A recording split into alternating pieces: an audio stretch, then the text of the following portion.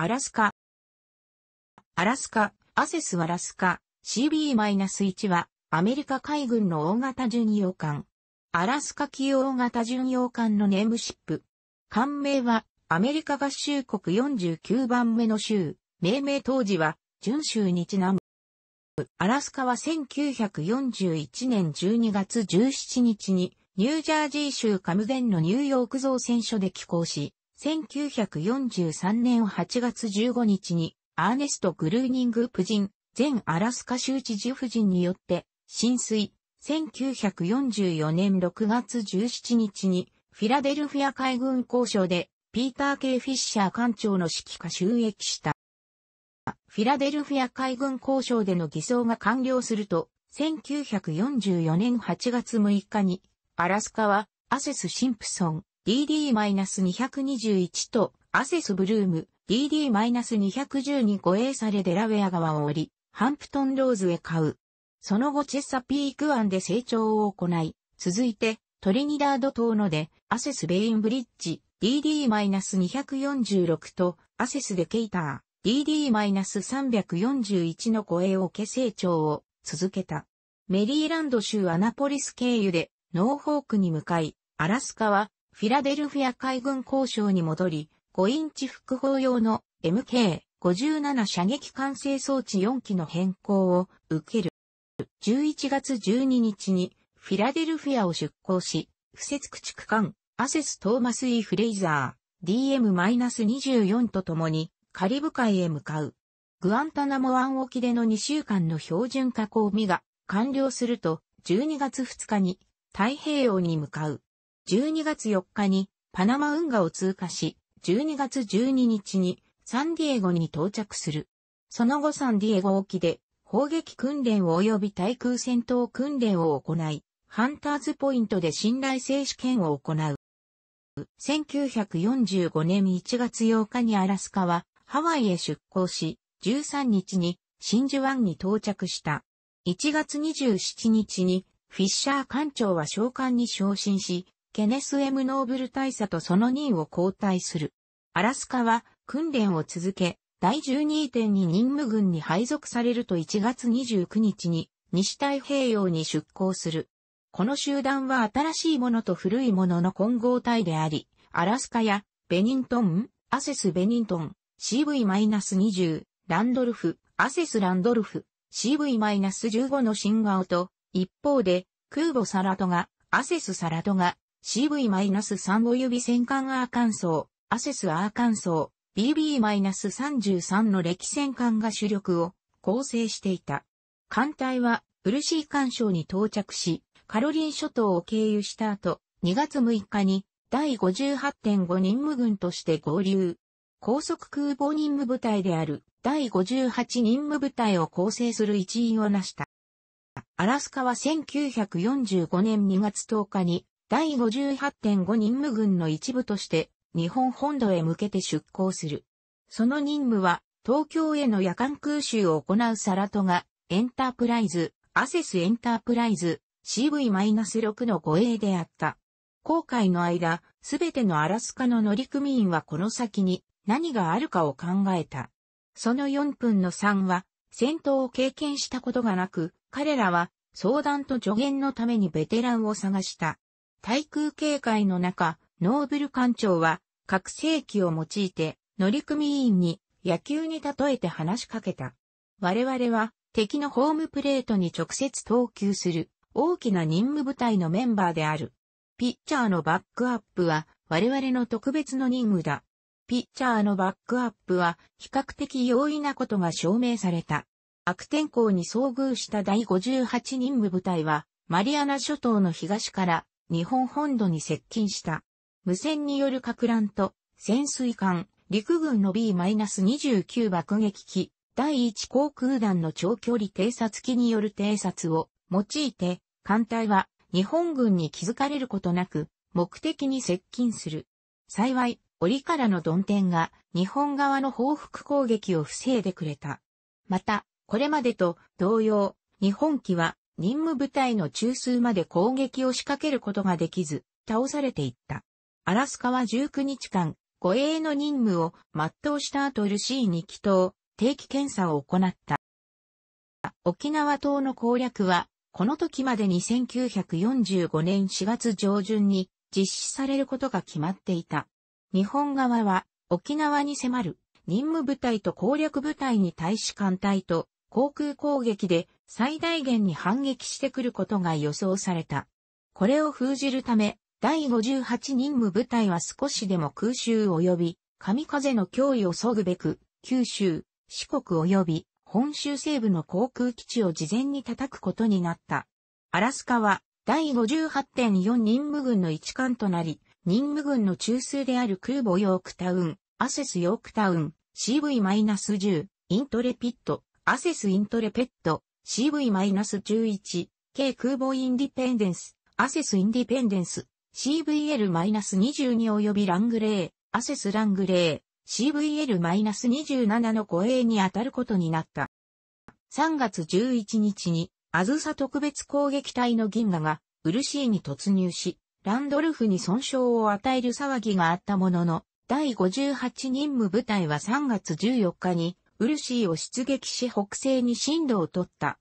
3月16日に、洋上給与を行い、18日には、九州南西洋上に出現。九州沖航空船の第1日目、アラスカのいる第58.4任務軍の関西機は、宇佐、大分、佐伯の航空基地を攻撃。他の任務軍、第58.1、58.2及び58.3の各任務軍による攻撃と合わせ、少なくとも107機の日本機を地上で破壊し、その他77から142もの目標を攻撃した。アラスカは、この18日、初めての戦闘を経験した。宇垣まとい海軍中将を率いる第5航空艦隊部隊のうち、水星27機と銀河16機からなる菊水水星隊、平田博和海軍中意識、菊水銀河隊、宇野厚海軍隊意識が0戦13機に護衛されて第58.4任務軍に突入。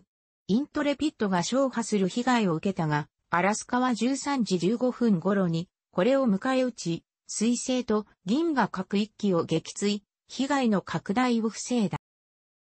翌3月19日、室戸岬のおよそ 80km 沖にまで接近した第58.2任務軍に対し、日本軍は激しく反撃。第58.2任務軍は他の任務軍より32キロ離れていた。7時8分、空母フランクリン、アセスフランクリン、CV-13 は銀河下水星から投じられた2発の爆弾で大破。ワスプ、アセスワスプ、CV-18 も神風攻撃で損傷した。アラスカはこの戦い、すなわち猛攻にさらされるフランクリン及びワスプの苦闘を離れた場所で見ていた。はじめのうちは先行に注意し、やがてその方角に一条の煙が立ち上るのを見て、空母が打撃を受けていることを知った。間髪入れず、フランクリンが打撃を受けたという放送が流された。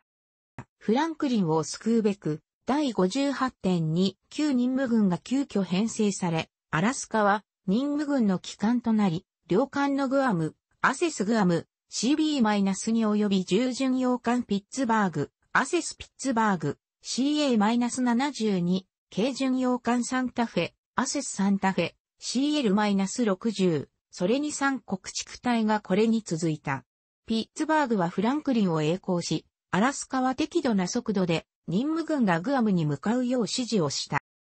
午後、任務軍は新たな日本機に発見された。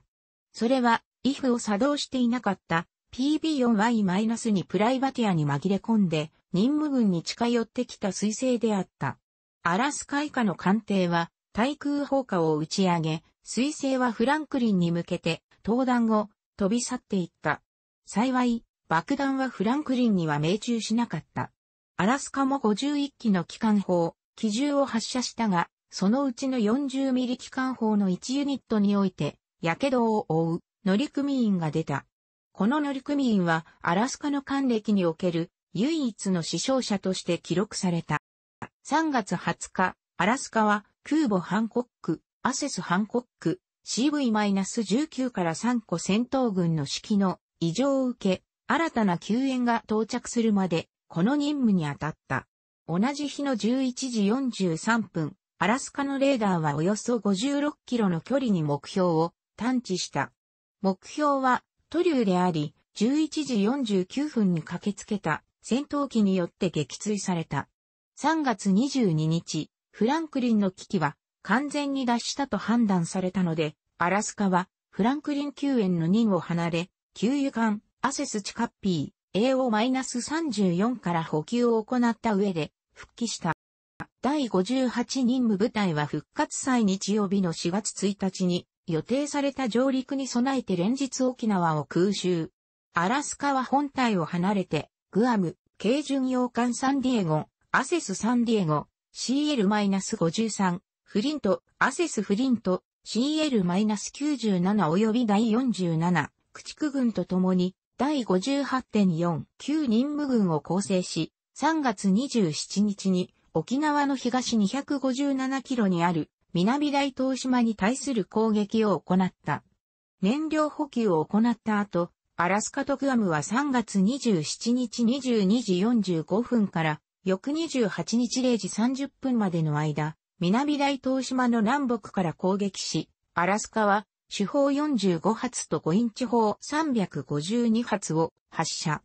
これに対する海岸からの反撃はなく、アラスカはこの満足すべき萌えっぷりを十分に堪能した。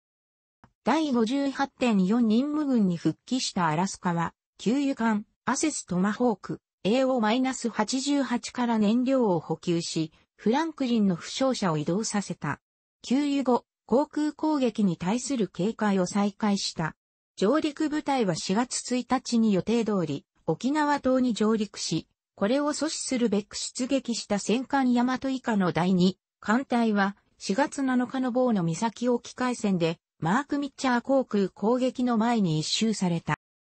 アラスカのいる第58.4任務軍は沖縄と九州の間にあって、海6回、ヘルキャットと F4U コルセアによる制空権維持に協力した。4月11日から12日の夜にかけて、アラスカは日本機を撃墜する手助けをした。アラスカはこれについて、相手はバカ爆弾すなわち、王家だったかもしれないと主張した。4日後の4月16日、アラスカは水星化冷戦、それに新たに出現した3機の敵機の撃墜を支援したと主張した。しかし、猛烈な対空砲火をすり抜けて、一機の神風がイントレピットに命中した。4月21日夜から22日にかけては、任務軍に接近する日本機を対空砲火で追い払い、29日夜から30日にかけても日本機の集団を2度にわたって追い払った。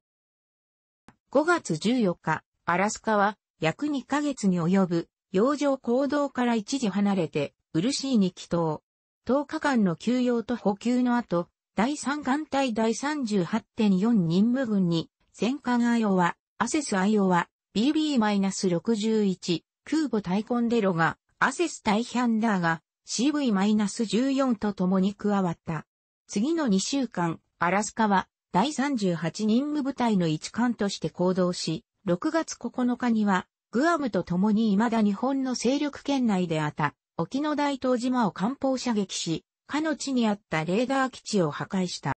任務軍は沖縄周辺での行動を終えて、レーテ島サンペドロ湾に向かった。6月13日午後、アラスカ以下の任務軍はサンペドロ湾に帰島した。レーテ島で1ヶ月間の休養、回復及びメンテナンスが行われ、アラスカは7月13日に新たに結成された第95任務部隊、フランシス・エスロー海軍少将の一部として出港する。任務部隊は16日に沖縄の中城湾に到着し、任務部隊は休養を行い翌日執行、東、シナ海へ向かった。台風の影響で沖縄に引き返すこともあったが、7月21日から作戦を開始することとなった。任務は福州から航海に至る海域において、すべての日本の船らしい船を葬り去ることであった。この作戦には、アラスカ、グアムを機関として、アーカンソーや真珠湾の生き残りも加わっていた。この方面には、敵の2隻の戦艦と、数隻の空母、駆逐艦、100以上の体当たりボートと航空機が潜んでいると信じられており、実際にそのような情報が届いていた。当然、敵の抵抗が予想されたものの、アラスカとグアム、護衛艦艇は敵に遭遇することもなく、中国の漁船と遭遇したのみであった。艦隊に攻撃を試みた日本軍機は、戦闘紹介を担当した航空機部隊によって撃退された。中条湾を拠点としてアラスカは東、シナ海における3度の総会作戦の支援に参加したが、結局めぼしい日本艦艇は観測されなかった。グアム艦長のレランド・ピー・ラブット大佐は、我々は、蜂の巣と戦って、パンジー畑で傷つくのを覚悟していた。しかし、東、シナ海は、我々のものであることが証明されたと語った。戦争の終結も近づいたものの、依然、日本軍の抵抗は続けられた。8月12日夜、アラスカのそばに停泊していた戦艦ペンシルベニア、アセスペンシルベニア、BB-38 に対し日本軍機が夜間攻撃を行い、ペンシルベニアは完備に魚雷一本が命中し大破した。翌日、特攻を回避するため夜間の出撃が行われた。8月15日に日本は降伏し、艦は歓喜に包まれた。アラスカの日誌には、我々は1月に初めて戦闘地域に出発した時に誰もが予想したより、はるかに早く帰ることができたのを知ったと記述され、アラスカは戦争を通じて損傷らしい損傷は受けなかったが、運動性能は良くなく、サラトガと同程度であるとの報告が艦長より出された。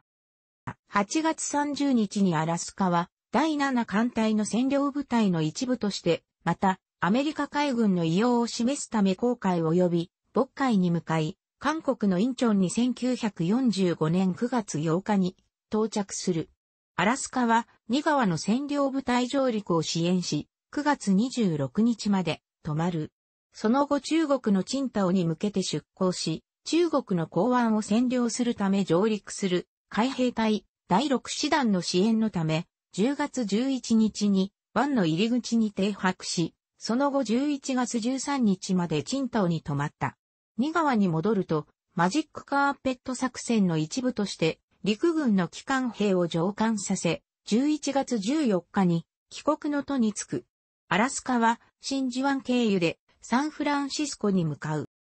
サンフランシスコからパナマ運河へ向かい、1945年12月13日に通過、12月18日にボストン海軍造船所に到着する。ボストンでは不活性化前の信頼性試験を行い、1946年2月1日に出港、翌日ニュージャージー州、ベイヨンに到着する。1946年8月13日に不活性化の上、米ヨンで予備役として保管され、1947年2月17日に退役する。その後、アラスカは現役任務に戻ることなく1960年6月1日に除籍され、6月30日にニューヨークのルリア・ブラザース社リップセット部門にスクラップとして売却された。